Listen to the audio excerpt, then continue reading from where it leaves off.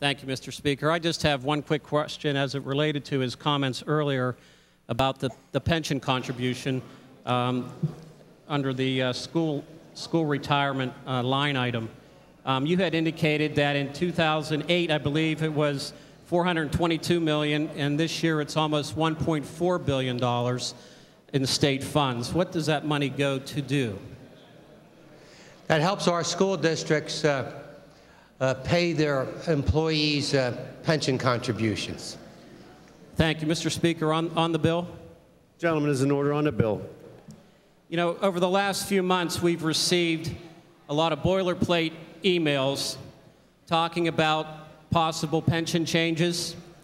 What this bill does is guarantee to all of those that have been sending us those emails that the pension contribution will be funded this year. And just so those that are watching at home that aren't covered under a school district pension, let me, let me explain how that works.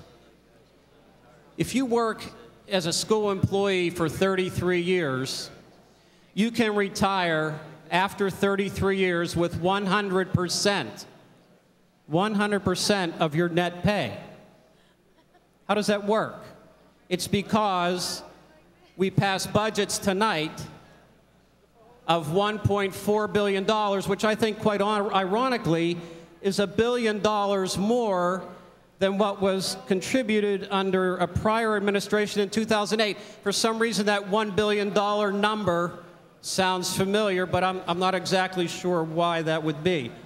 But getting back to the pensions that that those that work at Eaton in my district and FedEx Ground and, and Consol and GlaxoSmithKline and Calgon Carbon and Williams and Chevron and Nova Chemicals, the pensions that they don't get, let me explain again how that works. So after 33 years at a 2.5 multiplier, roughly that's 82% of your pay. But when you retire in Pennsylvania, there's no tax, no personal income tax on your retirement.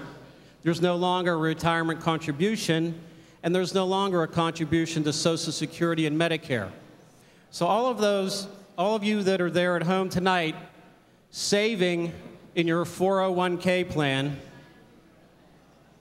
and saving